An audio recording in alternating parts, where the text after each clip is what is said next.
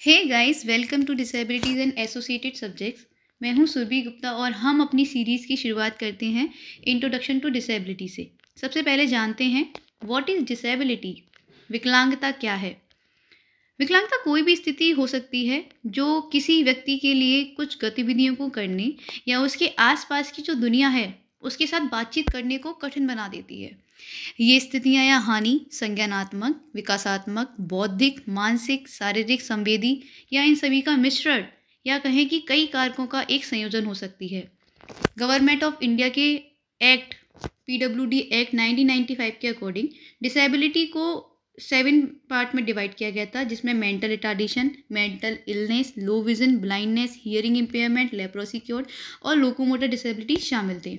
फिर 2016 में इसको रिवाइज किया गया, जिसमें इसका नाम बदलकर R P W D act कर दिया गया right to person with disability जिसमें अन्य चौदह डिसेबिलिटीज़ को शामिल किया गया, जिससे इसकी संख्या सात से बढ़ के इक्कीस हो गई।